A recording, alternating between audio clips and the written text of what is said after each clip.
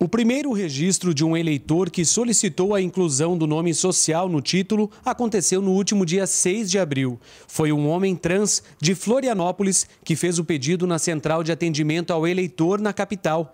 Transsexuais e travestis têm um prazo para fazer essa solicitação, que é o dia 9 de maio. Além da inclusão do nome social no título de eleitor e no caderno de votação das eleições 2018, o eleitor, se quiser, também pode atualizar a identidade de gênero no cadastro eleitoral.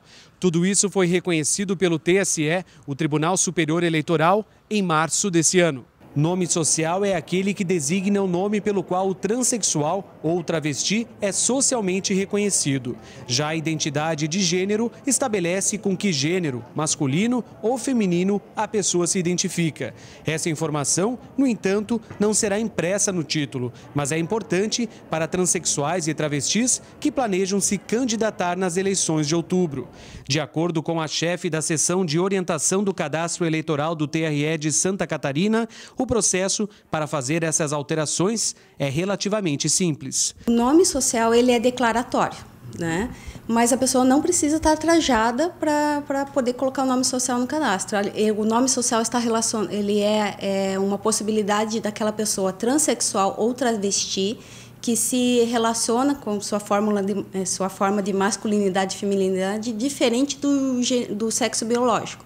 Então, ela vai incluir o nome social e alterar sua identidade de gênero no cadastro. Quem perder o prazo pode solicitar a alteração após as eleições desse ano. A medida, segundo ela, é essencial porque ajuda a reduzir casos de discriminação. O TSE trouxe essa inclusão de nome social principalmente para proteção contra a discriminação, né? A pessoa transgênera, ou, a, o, o travesti ou o transexual pode é, incluir o nome social, como também não, não, não inclui o nome social, simplesmente muda sua identidade de gênero. Então, foram dois avanços do, do da justiça eleitoral nesse sentido, né? Para proteção contra a discriminação e para melhorar aí a, a qualidade de vida mesmo.